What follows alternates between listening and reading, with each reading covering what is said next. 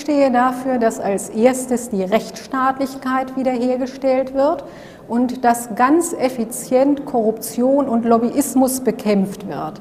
Damit haben wir ein sehr großes Problem und ich bin Steuerberaterin und Wirtschaftsprüferin und auch äh, Hochschullehrerin und ich kenne mich in diesen Dingen sehr, sehr gut aus. Ich kenne das aus der Praxis und ich weiß, dass wir hier sehr viel tun müssen, damit unsere Rechtsstaatlichkeit und der gesamte Rechtsrahmen wiederhergestellt sind. Wir brauchen unabhängige Richter, wir brauchen unabhängige Staatsanwälte und natürlich brauchen wir mehr Geld für die Justiz. Es kann nicht angehen, dass unser Recht kaputt gespart wird durch äh, eine völlig verfehlte Sparpolitik.